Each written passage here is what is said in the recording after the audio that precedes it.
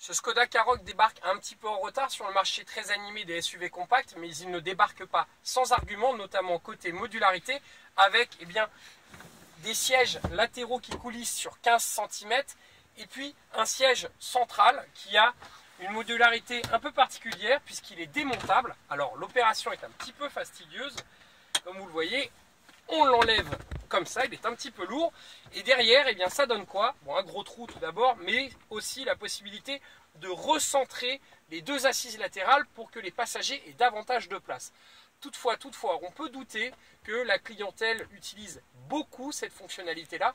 Et par ailleurs, on peut aussi regretter que Skoda ne euh, livre pas euh, cette modularité en série. C'est une option à 450 euros. Seule la finition haut de gamme style en bénéficie en série.